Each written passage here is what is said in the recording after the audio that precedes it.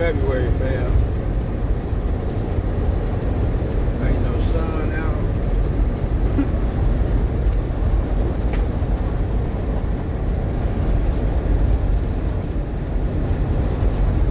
I mean, it's beautiful out here though.